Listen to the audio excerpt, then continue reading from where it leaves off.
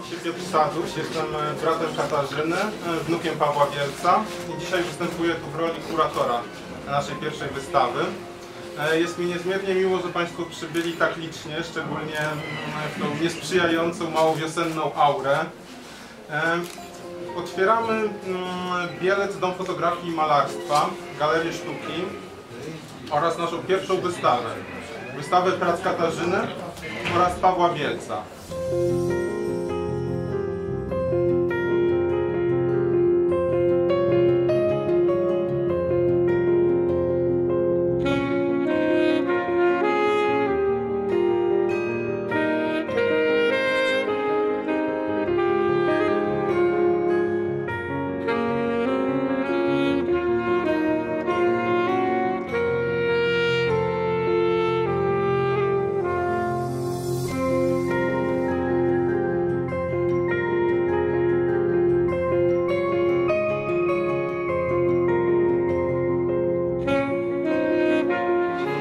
Otwieramy nową działalność pod hasłem upowszechniania mm, ponad 110 lat tradycji artystycznej w rodzinie Bielców.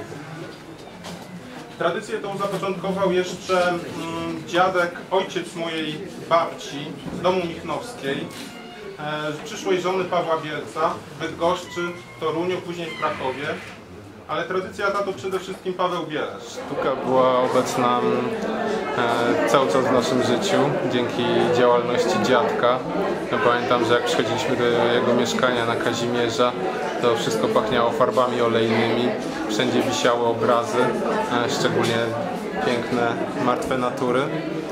Więc e, naturalne było dla nas, e, dla mnie i dla siostry to, że się e, zaczęliśmy tym zajmować. Fotografia jest jednak bardziej, bardziej rzeczą mm, związaną z życiem, z podróżowaniem, utrwalaniem ważnych dla mnie momentów.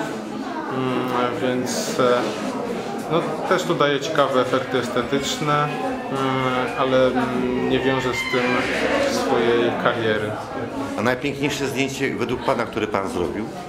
Najpiękniejsze zdjęcie, które moim zdaniem zrobiłem, to był e, suk w Aleppo, czyli taki tradycyjny mm, arabski targ. E, Mianowicie mm, udało mi się sfotografować e, piękne prześwity światła z tej XII-wiecznej architektury e, i przechodzących ludzi ubranych w tradycyjne stroje. No, to zdjęcie ma taki niesamowity klimat, e, który, em, który czuć było tam na miejscu i wydaje mi się, że jego część udało mi się uchwycić. i swoim własnym podziękuję paniom Basi i Kasi za to, co zrobiły. Y, To jest taka placówka, która tutaj w, tych miejsc, w tym miejscu jest bardzo potrzebna i jest wspaniała. Pamiętam to przed laty, jak to wyglądało. Ogrom wysiłek tutaj został włożony, projektowy i, i myślę, że to połączenie i warsztatu fotograficznego i galerii y, bardzo dobrze się tutaj zrealizowało. Y, Mogę tylko dodać, że y, uzupełnieniem tego na pewno będzie to, co się będzie działo na Placu Inwalidów. Przyjemna zmiana e, Placu Inwalidów, którego dotychczas jest taki dość przypadkowy, na zorganizowaną przestrzeń publiczną. E, Śledzę ten projekt i mogę powiedzieć, że jest to bardzo interesujący pomysł, e, który polega, to jest wynikiem konkursu, który miasto zorganizowało. Jest to e, jak gdyby organizowanie przestrzeni tak, żeby pogodzić funkcję e, tramwaju, bo tu jest jednak linia tramwajowa i to bardzo uczęszczana na Bronowicy, e, z wykorzystania tego miejsca e, w sposób, którego w tej okolicy nie ma. Mamy park, który powinien być z natury miejscem e, relaksu, a tutaj właśnie e, powstanie takie miejsce, gdzie od strony e, to będzie strona zachodnia, będzie rodzaj amfiteatru, stopni, kilka razy 10 stopni, na których będzie można siadać. E, Teren będzie zagłębiony. W ten sposób będzie podkreślony widok na e, dom profesorów, bardzo ciekawa przecież architektura. Strony ulicy Królewskiej będzie to odgrodzone e, taką przyporą, co spowoduje, że, że ten ruch tra- tramwajowy nie będzie uciążliwy, jeżeli się będzie na placu. Łagodnie przechodzi to w stronę parku, a patrząc na wschód będziemy widzieć obiekt. Y, To będzie pomnik Orła Białego, który, który zamyka jak gdyby od strony wschodniej ten, ten, ten, ten. Powiedzieć tylko kilka słów, żeby nie przynudzać. Po prostu złożyć serdeczne, serdeczne podziękowania zarówno Państwu, którzy przyszliście do nas, jak i tym ludziom, dzięki którym udało nam się utrzymać firmę, dlatego że groziła nam likwidacja. Przede wszystkim za to, że Urząd Miasta Krakowa zrozumiał, że, że można jednak pofolgować trochę z podwyżkami. Również y, zarządowi budynków komunalnych, który przychylił się do naszej prośby objęcia mecenatem przez y, Wydział Kultury naszej pracowni. No i oczywiście Wydziałowi Kultury, który po prostu pozytywnie zaopiniował naszą prośbę o poszerzenie naszej działalności, bo tak jak Pan y, Dyrektor wspomniał, y, tu będą robione równocześnie zdjęcia, jak i co jakiś czas wernisaże i prezentacje wystawy. Zdjęcia te portretowe są robione na kliszy, kliszy 9 na 13 retuszowane ręcznie na kliszy ołówkiem. Wszystkie odbitki czarno-białe są robione w ciemni metodą tradycyjną. Jest to o tyle śmieszna sprawa, że przychodzi dosyć dużo młodzieży i chce zrobić zdjęcia czarno-białe. I jak słyszą, że to potrzeba na to nam trzech, czterech dni, żeby się film szeroki na przykład skończył, bo wszystkie zdjęcia czarno-białe robimy stykowo.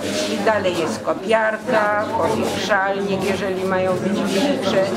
I cała ta obróbka, wiadomo, jeżeli bo pan się na tym zna, musi trwać, musi wyschnąć, musi się pomoczyć, musi się uspalić. No i każdy jest szokowany, że w tej dobie jeszcze robi się zdjęcia, na które potrzeba kilka dni czasu. A najzabawniejsze jest, jak miałam kiedyś y, dziewczynę, która starała się do łódzkiej filmówki, bo ja zawsze robiąc zdjęcia pytam się kogoś, y, do czego to zdjęcie jest potrzebne, bo inaczej robię zdjęcie do paszportu czy do dowodu, a zupełnie inaczej do chociażby dla chłopaka, prawda. Więc zawsze rozmawiam z klientem. I wtedy po prostu ona mi powiedziała, że właśnie stara się do łódzkiej filmówki. Ja mówię, no to pani musi mieć świetne portfolio. A tak, oczywiście. Czarno-białe zdjęcia pani robi? Oczywiście robię czarno-białe zdjęcia. No ja jej mówię, no to robimy zdjęcie analogowo czarno-białe, prawda? W takim razie tam zaczniemy. A ona wstaje z krzesełka, podchodzi do aparatu i mówi, czy mogę podglądać. Rzeczy bardzo ważne. Pierwsze to to, że klisze y, u- ulegają degradacji. Że przepakowując te klisze, zresztą tutaj mam właśnie panią z UJ-u, która nam pomagała to układać. Po prostu klisze zaczynają wchodzić w reakcję chemiczną z kwaśnym papierem. Robi się galaretka i to są klisze z okresu okupacji. Był gorszy materiał, gorszy papier, gorsza chemia i one płyną. I jeśli ktoś się tym nie zainteresuje, że to należałoby zachować dla potomnych, no to wydaje mi się, że to będzie straszliwa strata. To jest jedna sprawa, a druga, że zdjęcia, które są w tej pierwszej sali, gdzie mamy też komputery skryte pod właśnie tymi planszami, bo one są ruchome, to tam w tej pierwszej sali jest archiwum Klisz. No i jeszcze na antresoli, na zapleczu i tak dalej. Te plansze i całe to pomieszczenie jest wykorzystane normalnie do pracy w dzień, jest wernisaż, ale tu mamy skatalogowane numerycznie klisze. Niektóre są przepakowane, ponieważ klisze zaczynają ulegać degradacji, ale ktoś nas zapytał na przykład, ile my mamy tych klisz. Mówimy szacunkowo milion, więcej niż milion, ale wiemy, że skatalogowanych jest 700 tysięcy, 800 tysięcy. Zdjęcia historyczne są nienumerowane, nie wpisane do książek, natomiast każdy klient miał numerek i ten numerek był wpisany do książki, imię, nazwisko, rok, data. I w każdej takiej kopercie jest na przykład w tej, trzy klisze, bo są to zdjęcia rodzinne, prawda? To są zdjęcia przedwojenne. I teraz jak policzyć, ile jest rzeczywiście tych klisz? Jeżeli są koperty, w których na przykład są trzy koperty o tym samym numerze, w każdej jest po 5-6 klisz i dodatkowo na przykład dwa filmy cięte z 36 kratkami. Więc to jest po prostu niewyobrażalna ilość.